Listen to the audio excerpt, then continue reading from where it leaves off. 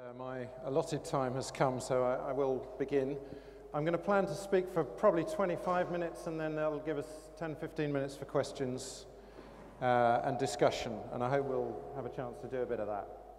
And I, in those 25 or so minutes, I'm going to pack quite a lot of stuff in, so uh, forgive me if the pace of this is quite quick. The slides themselves, by the way, I've, I have. Um, uh, they're on a website with a link that I tweeted this morning. Uh, and it's the only tweet I sent this morning.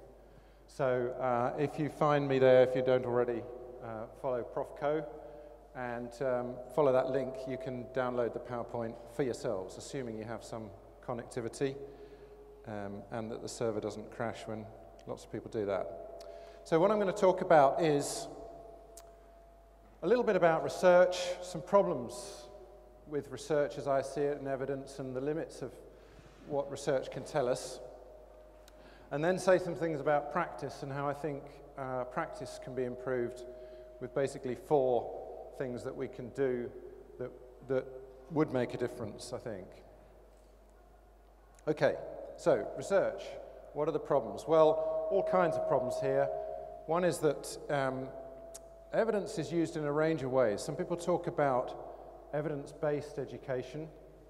Some people talk about evidence informed. There's a continuum, I guess, between evidence based, where evidence really drives what you do in terms of policy, in terms of practice, down to at the other end, where you perhaps don't take any notice at all of evidence, and evidence informed is perhaps on the way, evidence garnished uh, practice, where uh, evidence isn't really leading, but it sits on top, and so on.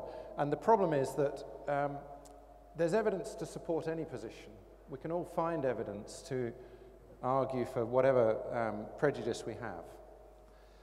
Um, I heard um, a senior person in Ofsted speaking recently talking about how schools should be collecting evidence to prove that their pupil premium spending was having a beneficial effect and had narrowed the gap. And it just seems to me that's the wrong way round. We, if we're, you know, we, we start with a question, we collect the evidence, and then we, we answer it. Um, and I think that mentality is, is um, I don't know if I can blame Ofsted for that, but uh, I think it, it's pervasive. And I think the other organisation, I mentioned the DFE on the slide there, but plenty of other commissioners of research and users of research uh, and uh, people who, who quote research I think, either misunderstand it or misuse it or um, make mistakes. And that's problematic in all kinds of ways. So, you know, these are, these are difficult issues for us. There are some problems with research itself, and these are real problems too. So, one is that the quality of educational research is very variable, but a lot of it really isn't very good. Um, whether I could say most of it isn't very good, I don't know, but certainly uh, there is a lot there which isn't very good. But we shouldn't dismiss it all because some of it is good. And that's, that's a real problem, actually. How do we know which bits are good? How do we know which research we should be taking notice of and which research is, um, is poor quality? And that is a difficult one. I know um, uh, Dan Willingham's book on should, should we trust the experts, is it called? Um, uh, helps us there, possibly. Uh, but I think that's a problem, and I think it's a problem even if you are a researcher, but certainly if you're not a researcher. Uh, how do you know which bits of research are, are, are valid and trustworthy? And can you get access to it anyway? Uh, a lot of it is behind paywalls, it's in academic journals, um, it's not easy to access. A lot of uh, what goes on in academic debates, I think, is, is far removed from practitioners' concerns. Pointless, perhaps, but certainly not relevant to uh, my concerns if I'm a teacher in a classroom. And I think it's a consequence of um, the generally low standard of, of um, quality in the educational research world that the process of peer review itself doesn't really work very well. So, um, because your things are reviewed by your peers, and most of your peers, um, or many of your peers, don't necessarily have that good judgment themselves. on the other hand, I do think that um, there are some positives here. One is uh, in, from universities, we're now all being judged against whether our research has impact. So we can't just stay in the ivory tower and, and carry on publishing stuff that nobody reads because uh, one of our, our, performance indicators, one of our league table metrics is going to depend on has it, has it actually benefited anyone? And that's new for us, so um, you can imagine that's uh, stirred things up a bit.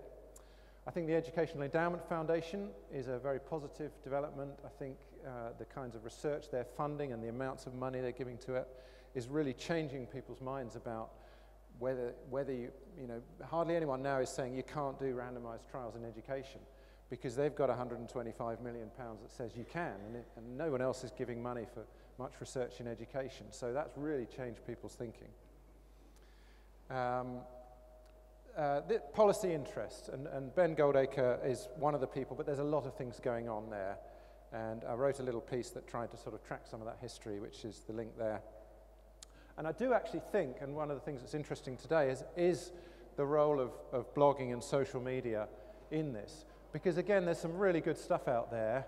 Uh, there's some mixed quality stuff too, but most of the stuff I read from, from bloggers and tweeters actually, uh, it, I would say, is, is on the whole very good. And much of it is better than stuff that I read in academic journals.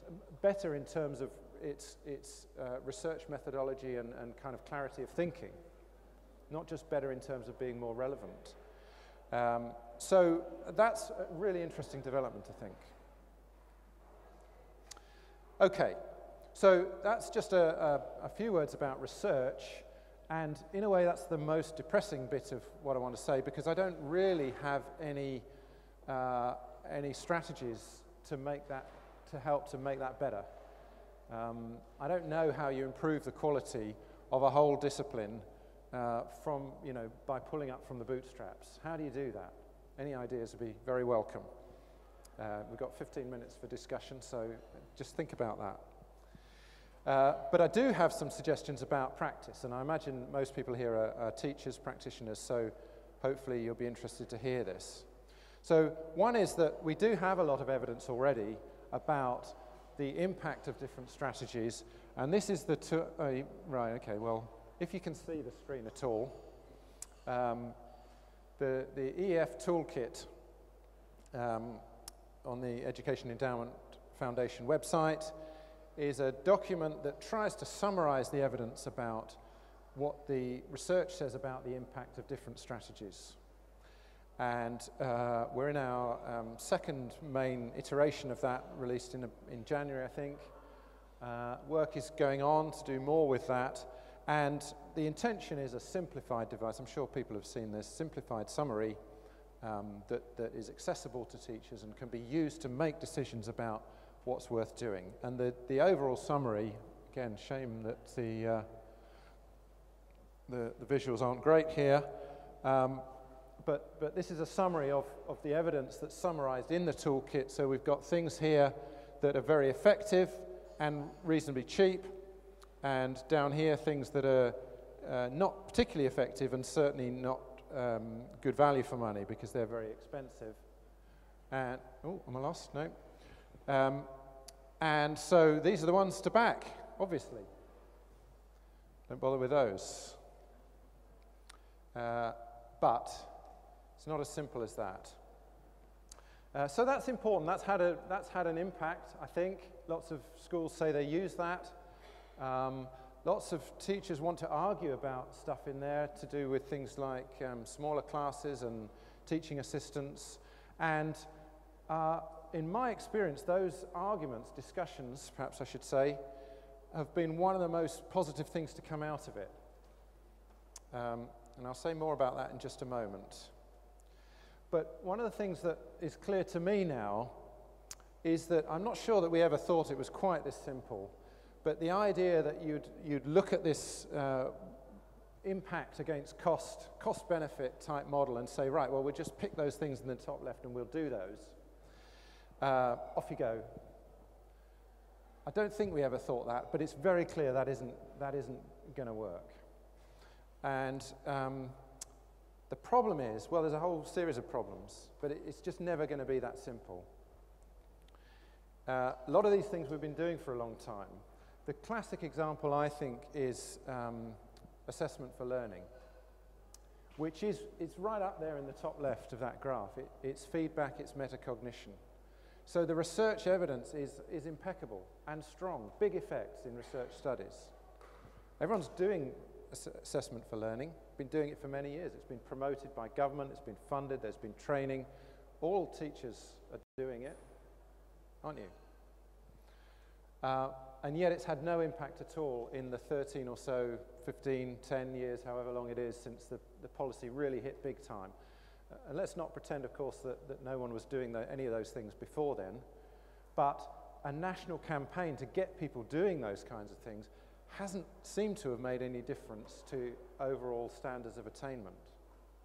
So, how can that be? If everyone's doing it and the research shows it works beautifully, why hasn't it made a, a phenomenal difference? You know, if we had the benefit that the research says it should have been, it wouldn't be Singapore at the top, it would be us over that time period. We'd be easily ahead of Singapore. And we're not. We're still, you know, in the middle where we were before. So I think the problem is about how, how we get people to change what they're doing. How do we get teachers who are doing it a bit or um, uh, maybe not doing it at all? Maybe they're doing token aspects of it but not the real thing. There have been some quite interesting blogs that, you know, a good example of what I'm saying about AFL recently, three or four blogs. Um, Old Andrew's blog on that in the last week or so I thought was very good. I don't know if Old Andrew's here. Perhaps you'd like to reveal yourself if you are. Um, be nice. Sorry? Old Andrew. I think, is it Old Andrew UK? It's not his real name. so I'm told.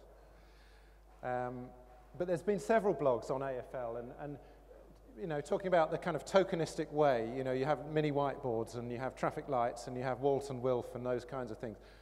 That's not formative assessment, really. Okay, so what can we do? That's, that's what we can't do. Uh, well, um, just four things. Can't be that hard. I've got 12 minutes.